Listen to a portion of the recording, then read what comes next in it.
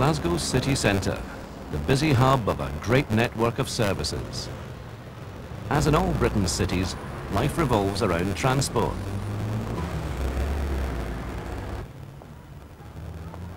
Indeed, without transport, city life would be almost unimaginable. The rail and underground networks shuttle us quickly and quietly from place to place. On the streets, great streams of traffic flow noisily from junction to junction.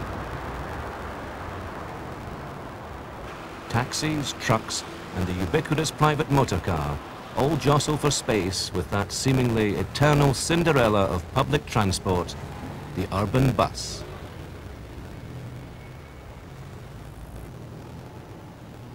Yet, in its many styles and forms, the bus has served us for well over a century and a half.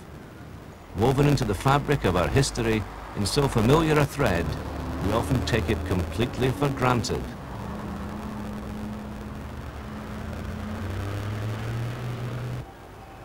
Few of us have not relied on a bus service at one time or another.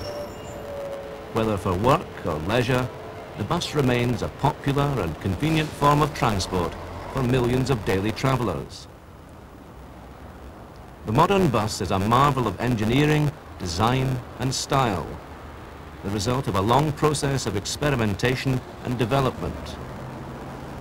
But bus design also reflects our everyday needs the things we use buses for, and the standards of service we have come to expect. Over the years, we have changed, and buses have changed with us.